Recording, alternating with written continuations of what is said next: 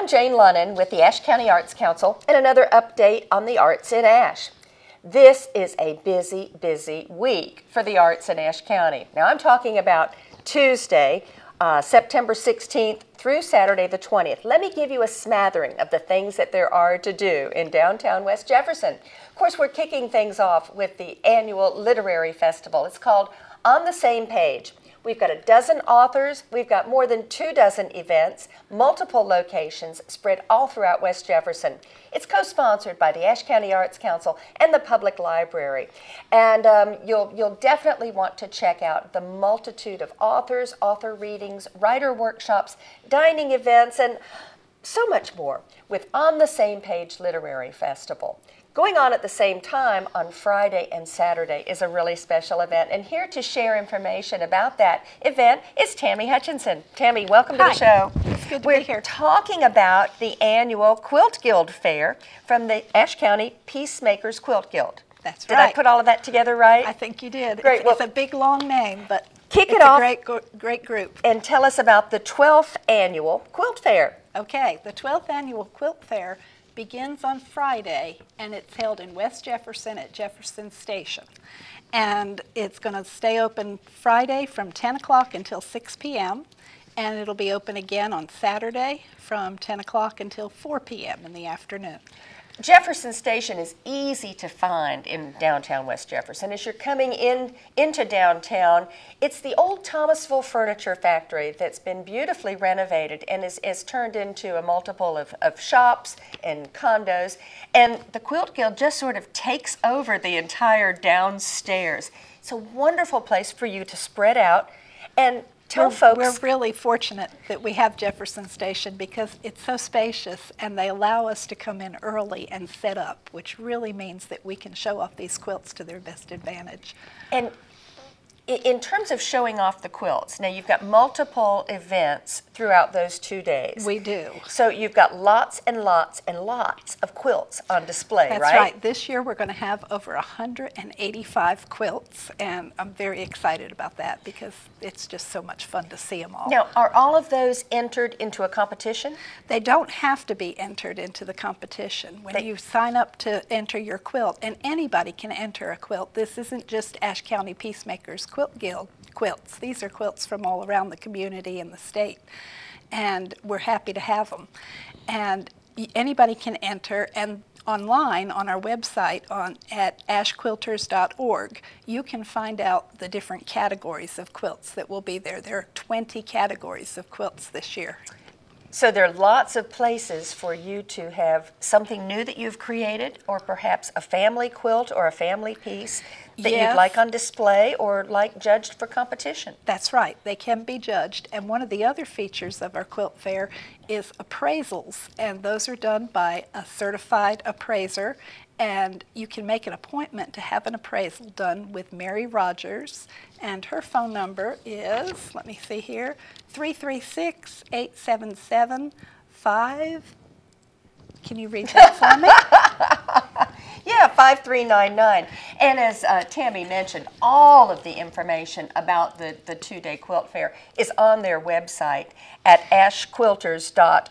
org. Right. And it's very important to have an appraisal done if you have a quilt in your family that's an heirloom for insurance purposes. So if you call or drop by with your quilt to get an appraisal, that would be wonderful for your family and for your own knowledge. And obviously, having an appointment will make it easier for folks to, to better judge their time. Now, there will be plenty to do and see. I assume you've got that wonderful vendors village uh, we do. coming back in we again. do. You don't have to leave town to buy crafting supplies or fabric, and just to speak to the vendors, they are um, oh, have a wealth of information because most of them are quilters Very, themselves. very knowledgeable, colorful, colorful area. Um, I'll mention that the Ashe County Arts Council will have a, a display as a part of the, the Vendors Village, and we'll be spotlighting some of the information about our barn quilt tours. You know, it's just another way that quilting and the heritage aspect of of what this means to, to all of us ties together. That gives me a chance to talk about our quilt that we um, put together this year as a guild. It's a barn quilt, and it's made out of fabric instead of wood or metal.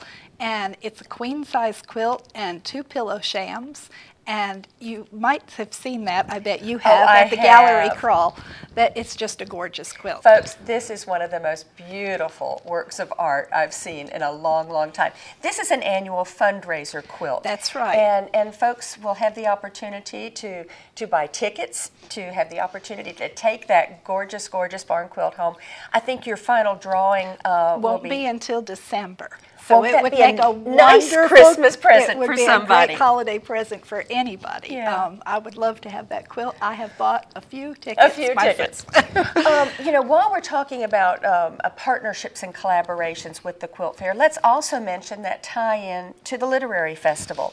The last couple of years, we've been pleased to, to partner with the Quilt Guild in bringing in an author that writes about quilts and has published books about quilting. And this year, wow, we've got Georgia Bonesteel we coming. have our own rock star of quilting Oh, coming this goodness. year. I can remember watching Georgia on, on public TV for Mm-hmm. years with her, her fine, fine quilt shows. Um, she's going to be doing two sessions this year, right? That's right. One on Friday and one on Saturday. And she's going to speak about what she's learned about quilting over her many years of quilting. And she's also going to bring her own fabulous quilts with her and do a trunk show.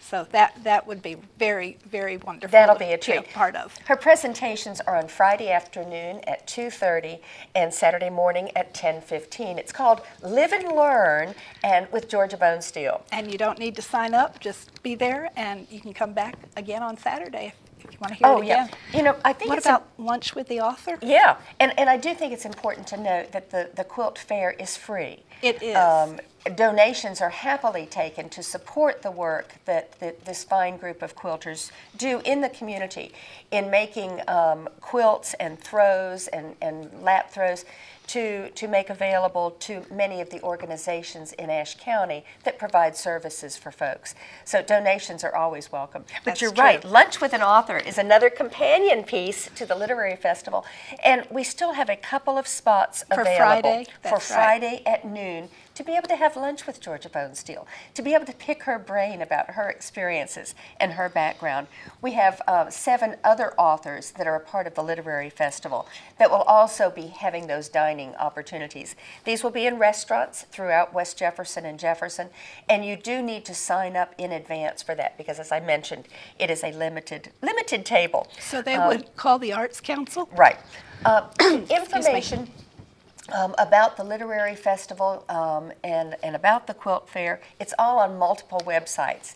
Um, I'll give you that as we close out. Okay. What other parting shots do we need to have to let folks know about what they'll experience at the Quilt One, Fair? one of the other um, features, or one of the missions of our guild, is to educate the public about the history of quilting and the techniques of quil- quilters use. And so, one of the features of the quilt fair this weekend will be a bed turning. That's where we bring in an, a real bed and we stack up a pile of quilts, one on top of the other, just like in The Princess and the Pea. And one by one, the quilts are turned down and shown off and discussed. Oh, neat. And you learn the technique and the history. And this year we're focusing on applique quilts. Quilts where one piece of fabric is cut out and layered on another piece of fabric to help create the design, such as this Is. I was just going to say, is this an example This of is that? an And example. Tammy, this is one of your beautiful quilts. This is only my second quilt ever. Oh, my um, goodness. it was a And- lot of fun to make. Tammy was sharing with me that this was based on a trip that she and her family took to Africa a number of years ago. And to be able to have a memory of that time together with a trip, with family together, and to have it immortalized in a quilt, in a wonderful, beautiful piece of artwork.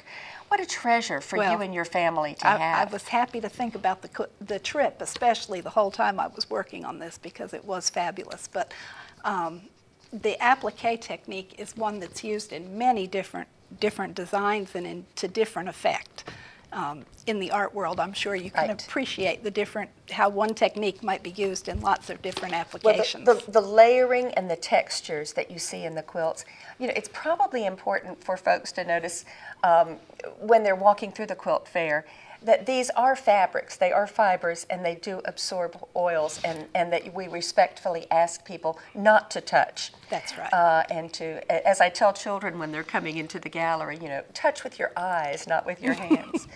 the quilt fair, um, let's see, this coming Friday and Saturday, that's September 19th and 20th, downtown West Jefferson at Jefferson Station, uh, 10 until 6 on Friday, 10 until 4 on Saturday. Full, full days. We will also have um, an auction for a silent auction for small quilts, and so you can participate in Oh, wonderful. that. And viewers can vote for their favorite. These quilts are all.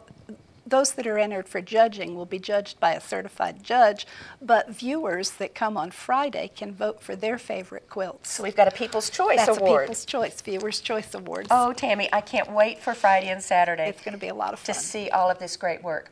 Check out specific information about the Piecemakers Quilt Guild Quilt Fair at your website, www.ashquilters.org. If you need information about the quilt fair, about the On the Same Page Literary Festival, give us a call at the Ashe Art Center. That number is 336 846 2787. Better yet, this week, this weekend, just come on over to West Jefferson. We've got lots and lots going on. And I should also mention, it's the annual Antiques Fair in downtown That's West right. Jefferson, too. Antiques, quilts, books, doesn't get much better than that. I think they all go together pretty well. I do too. The Arts in Ashe County, we look forward to seeing you in West Jefferson.